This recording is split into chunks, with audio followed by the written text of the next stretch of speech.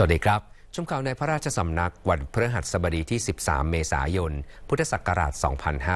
2566 สมเด็จเจ้าฟ้ากรมพระศรีสว่างควัตวรคัติยราชนารี เสด็จถึงท่ากาศยานนานาชาติ จอห์นเอฟเคนเนดี นครนิวยอร์ก สหรัฐอเมริกาแล้ว เพื่อส่งกระชับความร่วมมือในด้านต่างๆ โทรทัศน์กรมการเฉพาะกิจแห่งประเทศไทยรายงาน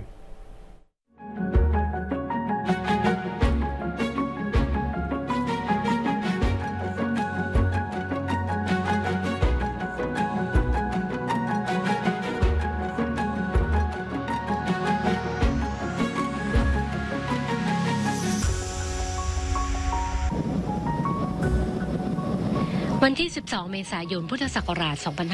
2566 เวลา 11 นาฬิกา 25 นาที ตามเวลาท้องถิ่นของนครนิวยอร์กสหรัฐอเมริกา ซึ่งช้ากว่าเวลาในประเทศไทย 11 ชั่วโมง ศาสตราจารย์ดร สมเด็จเจ้าฟ้ากรมพระศรีสว่างควัตวรคัติยาราชนารี เสด็จถึงท่าอากาศยานนานาชาติ จอห์นเอฟ เคนเนดี นครนิวยอร์ก สหรัฐอเมริกา โดยมีนายธานีแสงรัฐเอกอัครราชทูตณกรุงวอชิงตันและภริยา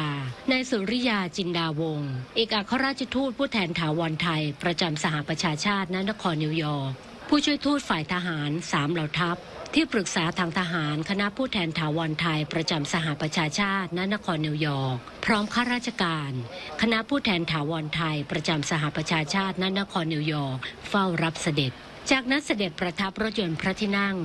ออกจากท่าอากาศยานนานาชาติ จอห์นเอฟเคนเนดี นครนิวยอร์ก สหรัฐอเมริกา ไปยังโรงแรมที่ประทับ The St. Regis New York ณที่นั่นนายฟาบิโอจินดา กงสุลใหญ่ณนครนิวยอร์กและภริยา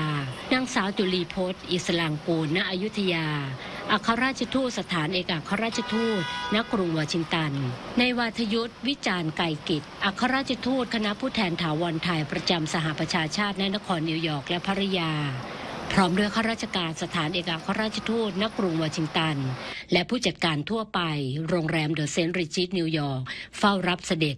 ทั้งนี้เพื่อทรงปฏิบัติพระกรณียกิจทางด้านวิชาการ และสานต่อความร่วมมือด้านต่างๆ กับสถาบันชั้นนำในเมืองบอสตันและกรุงวอชิงตัน โทรทัศน์รวมการเฉพาะกิจแห่งประเทศไทยรายงาน จากนครนิวยอร์กสหรัฐอเมริกา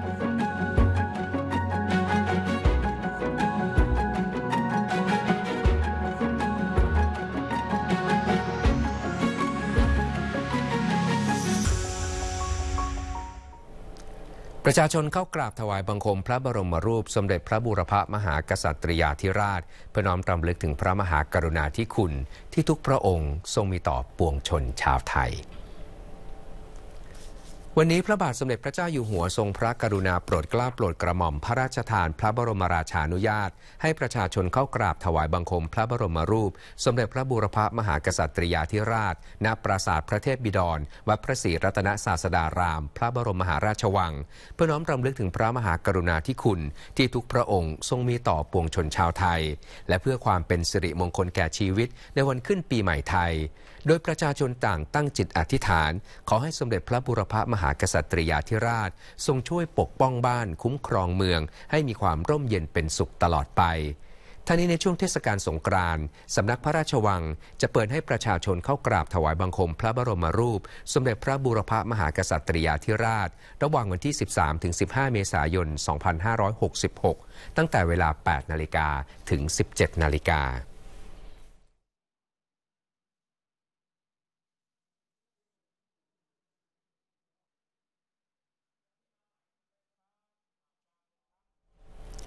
สมเด็จพระนิษฐาธิราชเจ้ากรมสมเด็จพระเทพรัตนราชสุดาสยามบรมราชกุมารี พระราชทานน้ำสงเพื่อนำไปประกอบพิธีส่งน้ำพระเจ้าทองทิศวัดสวนตาลจังหวัดน่าน เนื่องในเทศกาลสงกรานต์ประจำปี 2566 วันนี้เวลา 7 นาฬิกาที่วัดสวนตาลตำบลในเวียงอำเภอเมืองน่าน จังหวัดน่าน สมเด็จพระกนิษฐาธิราชเจ้า กรมสมเด็จพระเทพรัตนราชสุดาสยามบรมราชกุมารี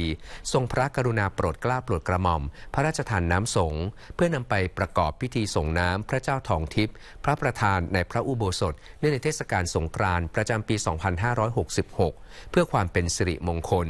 โดยมีนายวิบูลแววบัณฑิต ผู้ว่าราชการจังหวัดน่านเป็นประธานในพิธี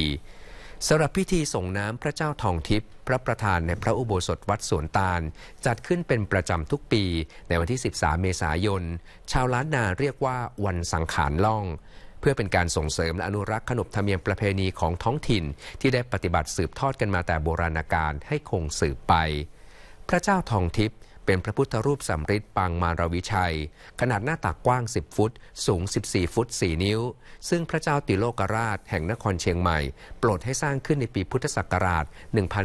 1993 ถือเป็นพระคู่บ้านคู่เมืองของเมืองน่านมายาวนานกว่า 600 ปี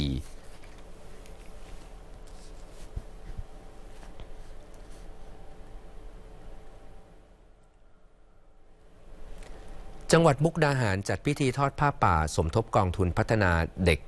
ชนบทเพื่อถวายเป็นพระราชกุศล แด่สมเด็จพระนิษฐาธิราชเจ้า กรมสมเด็จพระเทพรัตนราชสุดา สยามบรมราชกุมารี เนื่องในโอกาส วันคล้ายวันพระราชสมภพ 2 เมษายน 2566ที่วัดแจ้งชุมชนนาโปใหญ่ อำเภอเมืองมุกดาหาร จังหวัดมุกดาหาร นายวรยานบุญนราช ผู้ว่าราชการจังหวัดมุกดาหาร เป็นประธานในพิธีทอดผ้าป่า สมทบกองทุนพัฒนาเด็กชนบท ในพระราชูปถัมภ์จัดขึ้นเพื่อถวายเป็นพระราชกุศลแด่สมเด็จพระกนิษฐาธิราชเจ้า กรมสมเด็จพระเทพรัตนราชสุดาสยามบรมราชกุมารี เนื่องในโอกาสวันคล้ายวันพระราชสมภพ 2 เมษายน 2566 และเพื่อจัดหารายได้สมทบกองทุนพัฒนาเด็กชนบท และช่วยเหลือเด็กก่อนวัยเรียน ที่ครอบครัวยากจนและด้อยโอกาส โดยมีรองผู้ว่าราชการจังหวัดมุกดาหาร ชมรมแม่บ้านมหาไทยจังหวัดมุกดาหาร หัวหน้าส่วนราชการ ข้าราชการ รัฐวิสาหกิจ และประชาชนเข้าร่วมพิธีจากนั้นที่หอประชุม 250 ปีมุกดาหาร จังหวัดมุกดาหาร ผู้ว่าราชการจังหวัดมุกดาหาร เป็นประธานในพิธีมอบ กองทุนพัฒนาเด็กชนบท ในพระราชูปถัมภ์สมเด็จพระเทพรัตนราชสุดาสยามบรมราชกุมารี ประจำปี 2566 แก่เด็กอายุตั้งแต่แรกเกิดถึง 6 ปีจำนวน 306 ทุน ทุนละ 1,500 บาท รวมเป็นเงินทั้งสิ้น 459,000 บาท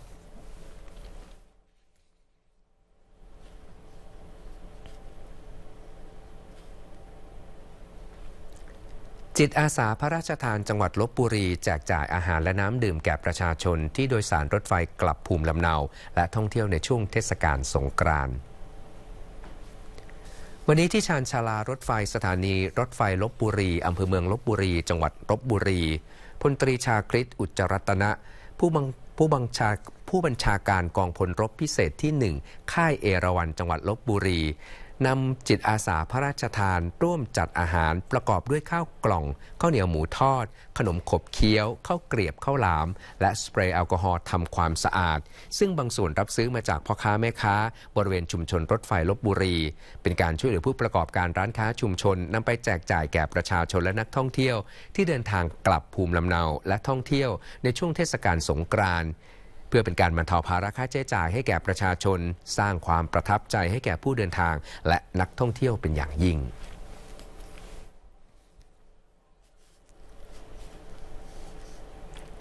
และทั้งหมดคือข่าวในพระราชสำนักประจำวันนี้ ผมวีรศักดิ์ขอบเขต สวัสดีครับ ส่งท้าย MBT News ค่ำ